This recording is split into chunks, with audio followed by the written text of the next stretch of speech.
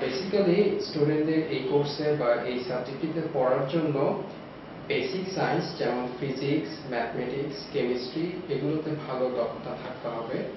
পাশাপাশি ইংরেজিতেও ভালো নলেজ থাকা প্রয়োজন। বিশেষ করে ফিজিক্স স্ট্যাটিক্স ডিনামিক্স এই কোর্সগুলোতে যারা ভালো করে, তারাই সাধারণত এই সাবজেক্টটিতে ভালো করে। আমাদের এই ওয়াটার রিসোর্সেস ইঞ্জিনিয়ারিং এই কারিকুলামে কিছু ফিল্ড বেসড কাজ আছে। এই কারণে স্টুডেন্টদের ফিল্ড ওয়ার্ক সার্ভিং এই জাতীয় কিছু কাজও করতে হয়। সো এখানে তাদের একাডেমিক কোর্সগুলোর পাশা- পাশাপাশি কিছুটা ফিল্ড বেসড ওয়ার্ক বা ফিজিক্যাল লেবার দরকার হয়, এই জাতীয় কাজগুলো তাদের করতে হয়। একাডেমিক পড়াশোনার পাশাপাশি আমাদের ডিপার্টমেন্ট সবসময় স্টুডেন্টদের এক্সট্রা কারিকুলার অ্যাক্টিভিটিসকেও এনকারেজ করে। আমাদের স্টুডেন্টদের racer water resources students association এই নামে একটি ছাত্র সংগঠন আছে। তারা বিভিন্ন ধরনের cultural function festival sports programme এই বিভিন্ন ধরনের অনুষ্ঠানগুলো অর্গানাইজ করে থাকে। আমাদের স্টুডেন্ট তারা আমাদের ডিপার্টমেন্ট সবসময় তাদের স্টুডেন্টদের নিয়ে স্টাডি ট্যুর অ্যারেঞ্জ করে। এছাড়া আমাদের ফাইনাল ইয়ার গ্র্যাজুয়েটদের জন্য ইন্টার্নশিপের ব্যবস্থা রয়েছে। একাডেমিক বিভিন্ন কারিকুলামের পাশাপাশি আমাদের ডিপার্টমেন্ট সবসময় চায় যে স্টুডেন্টদের এই ফ্যাসিলিটিসগুলো দিয়ে দেয়।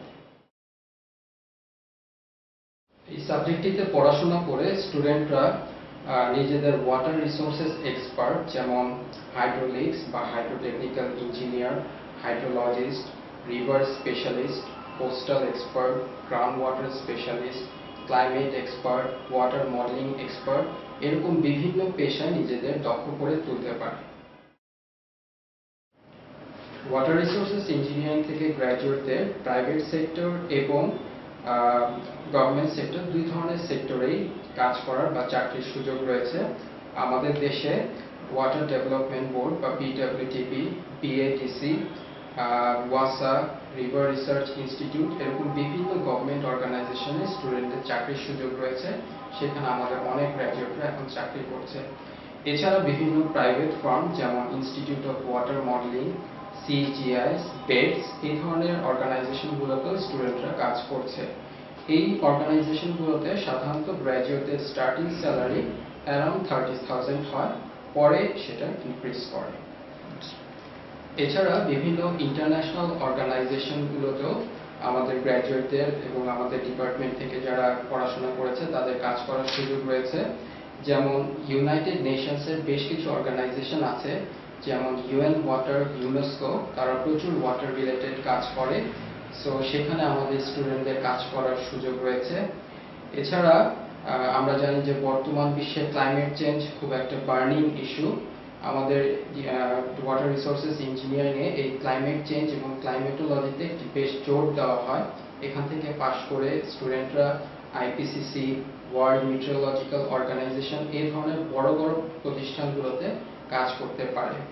আমরা জানি এখন ওয়ার্ল্ডে বিভিন্ন বড় বড় স্ট্রাকচারাল এবং ইঞ্জিনিয়ারিং ফার্ম যেমন স্কিডমোর উইংস অ্যান্ড মিলার বা SOM deep ocean technology DOT এরা বিভিন্ন ধরনের আন্ডার ওয়াটার এবং ওভার ওয়াটার স্ট্রাকচার নিয়ে কাজ করছে। ফর এক্সাম্পল বার্জ খলিফা এই ধরনের প্রতিষ্ঠানগুলোতে হাইড্রোলিক ইঞ্জিনিয়ার বা ওয়াটার মডেলিং এক্সপার্টদের প্রচুর চাহিদা রয়েছে। আমাদের গ্র্যাজুয়েটরা গ্লোবালি কম্পিটিশন করে সেখানেও নিজেদের জায়গা করে নিতে পারে।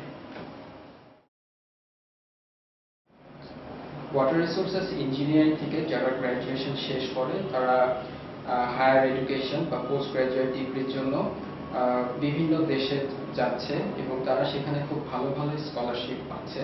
ফর এক্সাম্পল আমি বলতে পারি, আমাদের অনেক গ্র্যাজুয়েট স্টুডেন্ট ইউরোপে ইরাসমাস মুন্ডাস নামে খুব প্রেস্টিজিয়াস একটা স্কলারশিপ আছে। সেটা নিয়ে বেশ কয়েকজন গ্র্যাজুয়েট সেখানে গিয়েছে এবং এখনও আছে।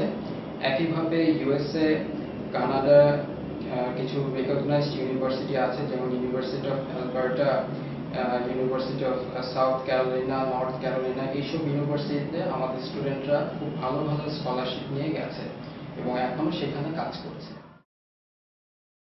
আমাদের দেশের যে বর্তমান সমস্যাগুলো, যেমন river bank erosion climate change problems coastal problem water quality problem এই ধরনের বিষয়গুলো নিয়ে আমাদের ডিপার্টমেন্টে বিভিন্ন ধরনের রিসার্চ হচ্ছে বোথ ম্যাথমেটিক্যাল মডেলিং এবং ফিজিক্যাল মডেলিং এর মাধ্যমে।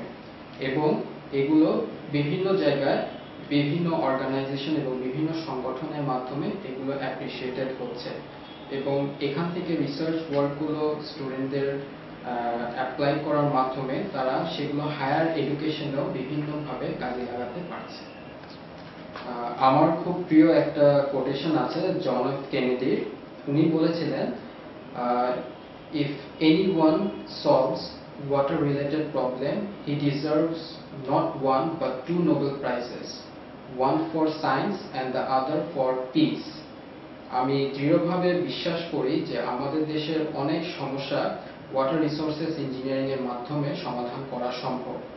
সুতরাং এই সমস্যাগুলো এবং এগুলো সমাধানের জন্য যারা কাজ করতে চায় বা আগ্রহী, তারা এই বিষয়টি নিয়ে পড়াশোনা করতে